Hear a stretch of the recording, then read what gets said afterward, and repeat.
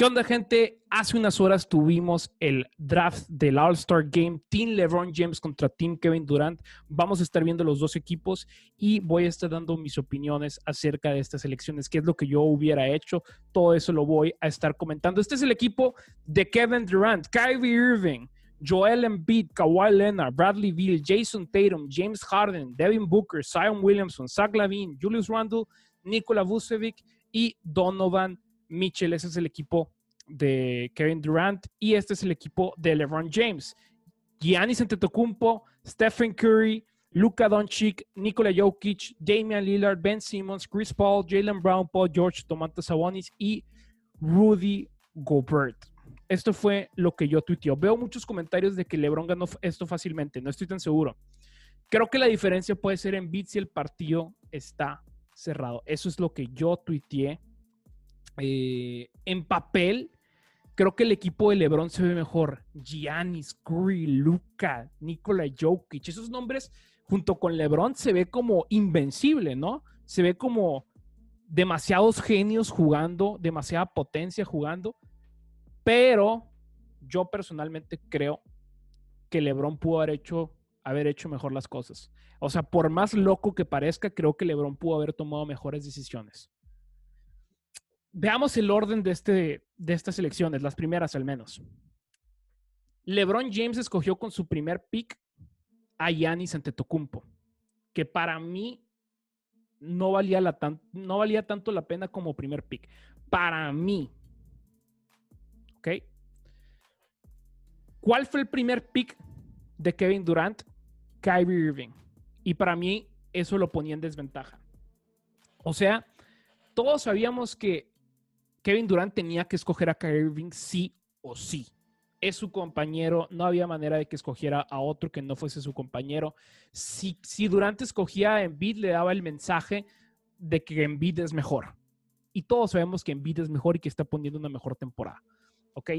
Entonces ya sabíamos que Durant estaba en la desventaja de que básicamente los dos primeros picks eran para LeBron James. ¿Cuál fue el segundo pick de LeBron James? Stephen Curry. Y ahí lo entiendo completamente. Quieres el mejor tirador de la historia. Y aparte por la parte del show, obviamente quieres a Stephen Curry jugando con LeBron James por primera vez. Por, ahí alguien me contestó en Twitter. Yo lo único que quiero es ver a LeBron eh, lanzando, no, a Curry lanzándole una liupa a LeBron James y me voy a poder morir en paz totalmente. Es lo que todo mundo quiere. Entiendo esa parte, ¿ok? La de Curry la entiendo, pero no la de Giannis. Lo que yo hubiera hecho con Giannis no, esto es lo que yo hubiera hecho. Escojo a Stephen Curry en primer lugar, siendo LeBron James primer pick. Kevin Durant hubiese escogido a Kyrie Irving y yo hubiera escogido a Joel Embiid. Ojo, yo sé que LeBron termina con Nikola Jokic como centro. Yo lo sé. Pero a quién quiero en un All-Star Game, jugando con todas las estrellas y en un momento clutch decisivo, creo que Joel Embiid sea, el debate entre Nikola Jokic es muy cerrado, pero creo que para un All-Star Game te funciona mucho más en beat. Número uno, Nikola Jokic necesita mucho el balón. Muchísimo lo necesita. En beat no tanto. En beat si de pronto no tiene el balón, puede jugarte muy buena defensa. Nikola Jokic no. Por eso yo preferiría a Joel Embiid. Ahora, digamos, yo escojo a Embiid Kevin Durant hubiera escogido a Yanis o a Kawhi Leonard. Dependiendo de quién hubiese escogido Yanis, yo hubiera escogido al otro. Entonces, KD escoge a Kyrie Irving y yo ya tengo a Curry y a Embiid. KD hubiese escogido a Kawhi, digamos. Entonces tengo a Yanis o a Kawhi, que es la misma. Para mí es lo mismo. Si no es que Kawhi es mejor jugador. Entonces hubiese tenido defensiva. Y este también es el problema. Luka Doncic es muy parecido en ese aspecto que Luka Doncic, que Nikola Jokic. Luka Doncic necesita mucho el balón y si no lo tiene tampoco es tan gran defensa. Ese es el problema con este, con este equipo de LeBron James, me parece. Creo que Kevin Durant pensó un poco más las cosas en el clutch, tal vez, o tal vez simplemente no lo pensó y así se dio, pero creo que si yo hubiese sido LeBron James, hubiera tratado de conseguir a Giannis de otra forma, o me hubiera quedado con Kawhi Leonard. Igual es un equipazo. Son pequeños detallitos que en los que yo me estoy fijando, pero X. Por ejemplo, este es el equipo que yo armé el, año, el, día ayer con, con Fernando Chicón. Hice este ejercicio. LeBron, Embiid, Kawhi, Kyrie y Anis. La diferencia es que este equipo, no, es que el de ayer sí estuvo muy fuerte esto, pero sí me entienden. Creo que LeBron pudo haber hecho algo mejor, pudo haber tenido más defensiva, por más loco que, que parezca, porque este equipo se ve increíble. Y bueno, así es como yo cerraría el partido. Y, aquí es donde se van a dar cuenta de por qué digo de que, de que no lo hizo tan bien LeBron. Porque voy a tener que hacer muchos ajustes yo para tener que parar a Embiid. Así es como yo cerraría el partido siendo el coach de Team LeBron. Curry, LeBron, Giannis, Jokic, Gobert. Así es, me quedo con Gobert al final para tratar de hacer la vida imposible a Embiid. Y muchos por ahí lo tomaron como que estaba diciendo que, que Gobert pararía a Embiid. Gobert haciendo la vida imposible a Embiid. Y yo contesté esto. Alguien me puso el vato que no vio el partido ayer y yo puse, jaja, sí lo vi, por eso literalmente estoy enfocando la alineación en tratar de pararlo. Entonces, ese es el problema con la alineación de Joel Embiid, digo, de LeBron James, con el cuadro titular de LeBron James. Joel Embiid no está ahí y tenía todas las oportunidades de tener a, a Joel Embiid. Creo que va a ser un factor mucho más importante en el clutch Joel Embiid que Giannis Antetokounmpo. Para mí Joel Embiid tiene muchas más armas ofensivas en el clutch que Yanis, pero muchas más. Y por ahí alguien también aquí me puso. Eh, pero si, pero si Envid acaba de meter 40 puntos, le acaba de meter 40 puntos, sí, totalmente. Yo sé, pero entre Gobert y Yanis lo tendría muy complicado. Imagínate, si al mejor protector del lado le hizo eso, cualquiera se lo puede hacer. Es cuestión de ponerle más las cosas más difíciles. Pararlo posiblemente más no puedas. Y, ojo, la ceja de ley es, es cuenta eh, que me cae muy bien me cae muy, muy bien. Ah, sacamos muchas, muchas risas ahí en Twitter. ¿Por, ¿por qué a Gobert lo sacan debajo del aro y ya está? Yo, Jokic le metió 50, en Bit 40 y Davis como 47 la temporada pasada. Y yo digo, esas cosas pasan. O sea, estos números se lo ponen a cualquier otro, no solo a Gobert. Y le puse, ¿qué propones entonces? Y me pone CP3 o Lillard. Y yo dije, Curry y Lillard me parecen el mismo jugador básicamente. Prefiero tener mucha altura para poder tratar de, de parar en beat. No estoy diciendo que Gobert no, no lo hará solo lo hará solo. Y me pone, y en ataque tenés cero spacing porque ni Giannis ni Gobert te van a tirar de tres. Y yo contesto, en el clutch estoy bastante confiado que Curry, LeBron y Jokic pueden darme eso. Después puse otra cosa es que Harden, Kawhi y Kyrie se harían un festín con Curry y Lillard al mismo tiempo.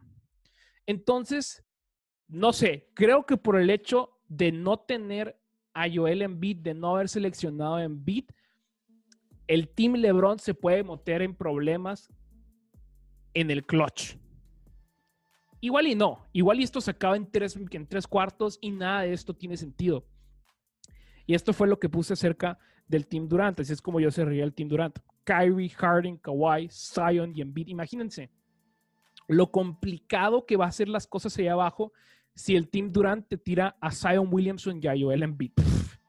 Por favor, por favor. Por eso es que yo propongo eh, una alineación súper grande. Curry, LeBron, Giannis, Jokic, Gobert. A ver, spacing, Curry es el mejor tirador de la historia. LeBron y, Jokic, confío bastante en ellos. En el clutch, confío más en ellos que en otros jugadores. Ahora, me duele dejar a Lillard, pero si pongo a Lillard y Curry en el mismo quinteto en el clutch, me van a hacer pedazos en cuanto a, la defensa. Eh, digo, Harden y Harden y Kawhi se van a dar un festín y Kyrie también, si es que eh, eh, Lillard y Curry están en cancha. Entonces, eso es lo que pienso. Creo que en sí, en su totalidad, LeBron James tiene mejor equipo, pero creo que se equivocó al no seleccionar a Joel Embiid. Una de mis prioridades, mis dos prioridades siendo el Team LeBron hubieran sido Stephen Curry y Joel Embiid. Y esto lo digo porque hice un ejercicio de esto el año, digo, ayer. Ayer hice un ejercicio cerca de esto, hoy también lo hice en la mañana y creo que Joel Embiid era parte fundamental. Pero bueno, en su totalidad también es un equipazo el que formó LeBron James. Veamos la banca, Lillard, obviamente me encanta el pick. Simmons, me encanta el pick. Chris Paul, muy bien. Jalen Brown, muy bien. Todo muy bien. Paul George, muy bien. Sabonis, bien. Rudy Gobert, bien. Todo está muy bien. Lo único que me preocupa es, ¿van a meter a Gobert al final? Porque Gobert y Donovan Mitchell fueron los últimos picks. Que de hecho yo me sentí un poco incómodo con eso. Donovan Mitchell fueron los últimos, Donovan Mitchell y Gobert fueron los últimos picks. Y hubo como unos minutos en los que empezaron a hablar de Utah. Y, yo me sentí un poco incómodo. LeBron James dijo algo así como que no es por ofender, pero eh, ni siquiera en los videojuegos quieres jugar con Utah. Y, es así como de, ¿eh? A, mí, yo, yo viéndolo, me, saqué de onda. Y, y Charles Barkley lo dijo, no quiero eh, obviamente en tono de broma, pero no quiero eh, faltas de respeto al Utah Jazz, van en primer lugar. No sé, me pareció como un poco ofensivo y obvio, no, no es que literalmente esté ofendido ni nada, pero me, me pareció un poco agresivo el hecho de que siendo el primer lugar, eh, tanto a Donovan Mitchell y a Rudy Gobert hayan sido los últimos equipos seleccionados y que todavía aparte LeBron diga, sin ofender, pero nadie quiere ni siquiera en videojuegos jugar o seleccionar al Utah Jazz. Fue así como de, ok, ahí hay un beef, ahí hay un beef entre LeBron, los Lakers y puede ser que hasta Durant con el Utah Jazz. Eso es todo lo que pienso de estas elecciones, de este draft del All-Star Game en su totalidad. Creo que a fin de cuentas va a ganar el Team LeBron pero creo que si las cosas se ponen cerradas, a fin de cuentas también los, el Team LeBron tiene a LeBron James, tiene el jugador más importante, creo que también el segundo jugador más importante es Curry. Así que probablemente lo terminen ganando, pero si Joel Embiid se enciende, veo muy difícil que lo puedan parar si es que no meten a Rudy Gobert junto con Yanis, junto con Jokic, porque no solo, o sea, si, si Gobert solito trate de pararlo, no va a poder, ya lo vimos ayer. Pero una ayuda de Yanis y Jokic Creo que esa es la manera en la que posiblemente pueden parar a Joel Embiid y si no hacen eso, posiblemente Joel Embiid los vaya a dominar ahí abajo. Eso es todo lo que pienso de, este All-Star Game. Espero haya sido claro y que no me haya revuelto mucho con todas eh, las tácticas que yo hubiera hecho, pero eso es lo que opino, eso es lo que yo hubiera hecho. Déjame aquí en los comentarios, ¿qué es lo que tú harías siendo el Team LeBron? ¿Qué es lo que tú harías siendo el Team Kevin Durant? Eh, muy interesantes estos temas. Me encantan estos temas, me encanta la NBA. Gente, eh, espero dejen su like, suscríbanse al canal, cada vez estamos creciendo más. Denle la campanita para que se les avise cuando hay un nuevo video. El domingo es el All Star y yo estoy muy emocionado. Gente, nos vemos pronto.